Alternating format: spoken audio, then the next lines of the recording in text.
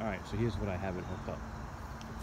Carabiner, CMI pulley, some kind of, I don't know, strap that I use.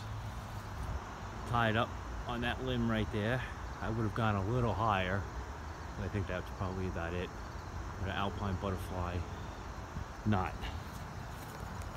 And then,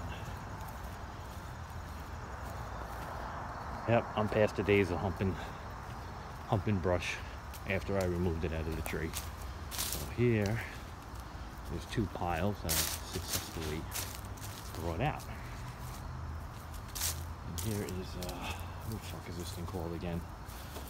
It's a Matza Dam rope wrench. So, hooked up with a strap, with a beaner. There it is. It seems to be working very well. Just small piles. This is this is what any pretty much human would uh, carry themselves. Six to eight branches, cut properly, of course. And I don't know. I might go through there. My truck is in the driveway with my chipper.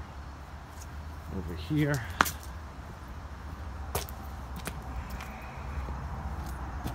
There's my machine on my little truck.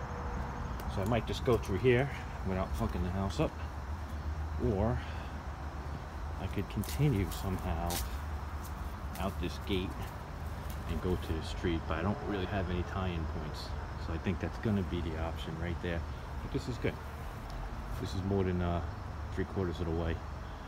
And I can just very easily, a couple branches at a time, stack them right there, back my truck up, and be done with it.